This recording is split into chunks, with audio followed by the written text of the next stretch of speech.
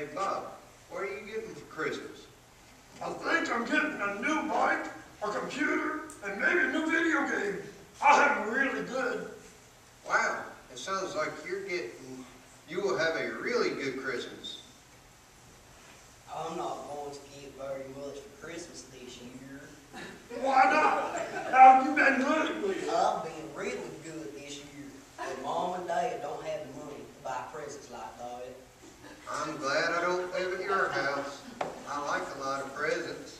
So do I, but mom and dad remind me of what Christmas is really about. You mean Christmas isn't about getting presents? No, not at all.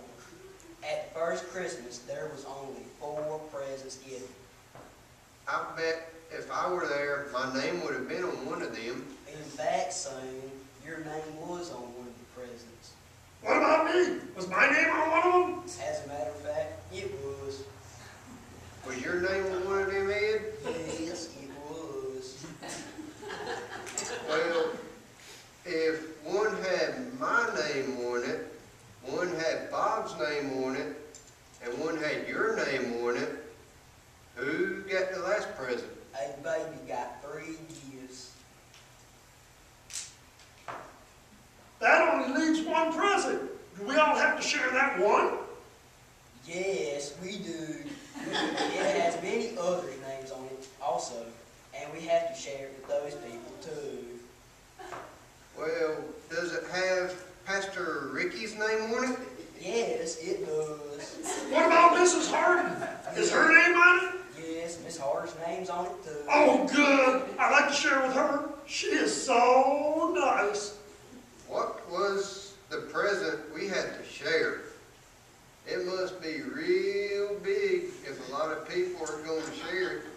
A present came from heaven. God gave the whole world his very own son. You mean we got a baby? How do you share a baby? The baby grew into a man. The man, Jesus, knew we could never go to heaven with him until he paid for the sins of man.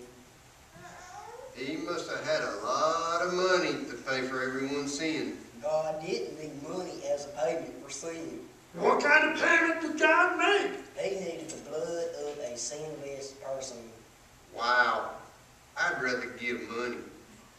But Jesus was sinless, so he can make the payment God required. Did he have to go to the Red Cross and give his blood? No, they didn't have Red Cross then. Well, how'd he give his blood then? He died on the cross back when Jesus lived. They were, they did bad things. The government would make a cross out of wood, and it nailed the person to it. If I was Jesus, I would have stayed in heaven. It doesn't sound like much fun for Jesus to come to earth and die. It wasn't fun, but Jesus did it willingly.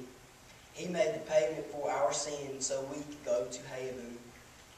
That sounds like a wonderful gift. If we accept Jesus into our hearts, we will have a gift every day of the year. That's right. Jesus sends the Holy Spirit to help Christians live right.